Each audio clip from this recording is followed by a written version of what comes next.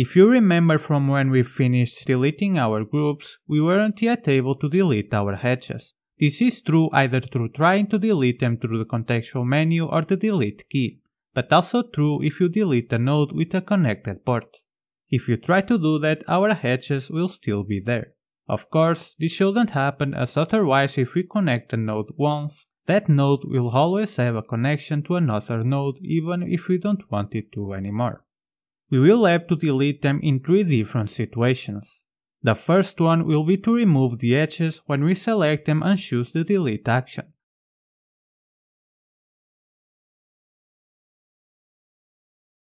The second one will be when we delete a node and that node has connections, as they will then need to be removed. The third one will be by adding our custom contextual menus to the node and allow us to choose to disconnect all input ports or output ports as the node already contains one provided option to disconnect all ports regardless of them being input or output. Let's start with the first one by going into our GraphView script and to our onElementsDeleted callback. In here we'll simply add the edges to a list and delete them using the delete elements method. The reason why we are using the delete elements method is because the graph view itself does not have the remove elements method and we don't really need to do anything else than remove the edges, so we don't need to iterate through them. So start by creating a new variable of type type, to which I'll name edge type and give it the value of type of edge. Then create a new list of edges and I'll name it edges to delete and initialize the list.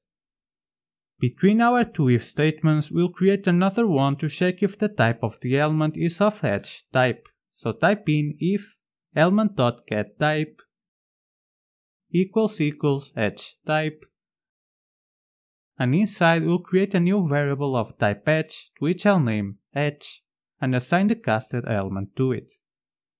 Then we add this variable to the edges to delete list. Don't forget to continue to the next element at the end. Then, right after our groups to delete for each, we delete our edges by typing in delete elements and pass in our edges to delete list. If we save and go back to Unity, we shall now be able to delete our edges through the contextual menu or the delete key. Of course, they will still stay there if we simply delete the connected nodes. To fix that, we'll be creating a method in our node script that disconnects its ports. In that method, we'll simply iterate through the node ports, and if that specific port is connected, we will remove all the port connections by using the delete elements method. This method will also be useful for us later on because it adds the edges that will be deleted to a certain GraphView variable, which we will need later on in the series. So let's go to our DS node script and above our error style methods we'll create a new private method called disconnect ports. We will be able to both disconnect our input and output ports which are placed within different containers. So we'll also accept which container we want to iterate through. So create a parameter of type visual element and name it container. I'll make this method part of a region called utility methods and add the style methods to the region as well.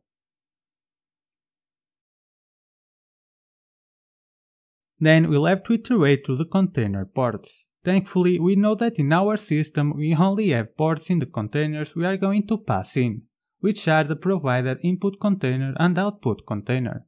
So we can transform the element to a port type in our for each right away. So type in for each port and I'll name it port in container.children. This will get all the elements inside of this container and we are now iterating through the ports of either the input container or the output container. If you do have any other elements in this container, you will need to check if the element was of type port and then cast it. Then we'll need to check if the port is connected, because if it isn't, then we don't really need to disconnect it. Thankfully, Unity does have a variable named connects in the port class, so simply type in if port.connect and add the not operator at the beginning for it to become not connected. We can then continue. Otherwise, if it is connected, we will need to delete all of its connections. We can do that using the connections variable the port class also provides. So type in graphview.deleteElements and pass in port.connections. If you prefer to make them into a variable, you can simply initialize a new list and pass in the port.connections variable to the list constructor, as it will create a list with those elements in it. I'll leave it as is. Of course, this method is private so we can't call it in our graph view. What we'll do is create another public method that calls our disconnect ports twice, once per container. So create a new method above by typing in public void and I'll name it disconnect all ports. And inside call disconnect ports and pass in input container. And then call it again and pass in output container. The method is now done so we simply need to call it whenever we delete a node.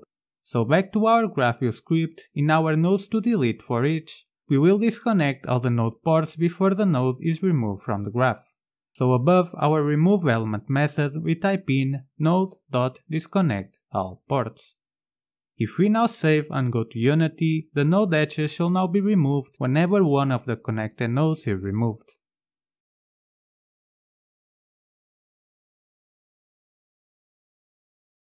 The disconnection and removal of the edges are done, but I would also like to add a right click menu only for our nodes that allow us to disconnect either the input or the output ports. If you right click in a node, you can see that a disconnect all option already exists, and works pretty well. This option is provided by Unity but we can also add our own, which we will do. Going back to our DS node script, we are able to add our own contextual menu to the node by overriding a method called build contextual menu. So press Alt Enter and go to Generate Overrides and click Deselect All. Then go to the bottom where you will find the Build Contextual Menu method and select it and press OK. I'll make this method be part of a new region named Overridden Methods.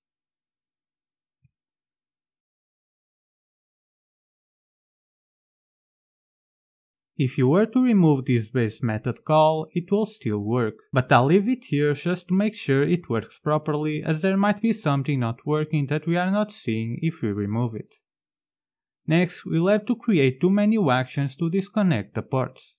If you create the actions above our base method call, they will show up in the same menu section as the disconnect all option. If you were to create them under our base method call, they will show up in the Cut, Copy and Paste menu section. I'll be adding them above our base method call. To do that, we will be using the same method we use in our contextual menu, which is the append action method, in which we can access through typing in event.menu.append action. And in here we'll need to pass in the name of the menu and its action.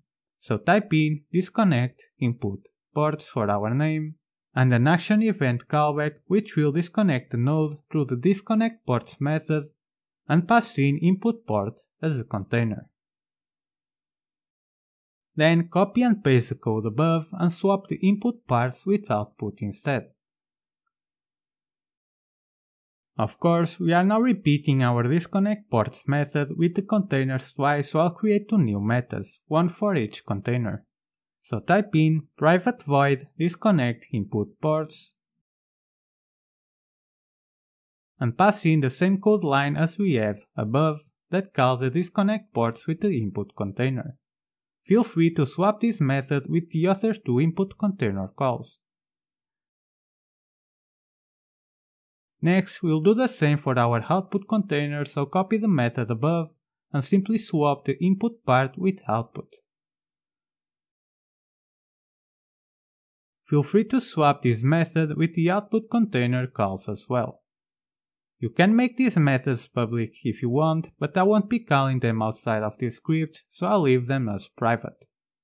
If we save and go to Unity, right clicking in our nodes and in our nodes only shall show the two new options. Clicking on them should also disconnect all connected ports.